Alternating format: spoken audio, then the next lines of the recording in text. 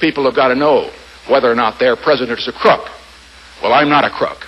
I've earned everything I've got. Read my lips. No new taxes. I did not have sexual relations with that woman. Intelligence gathered by this and other governments leaves no doubt that the Iraqi regime continues to possess and conceal some of the most lethal weapons ever devised. If you like your health care plan, you'll be able to keep your health care plan. Period.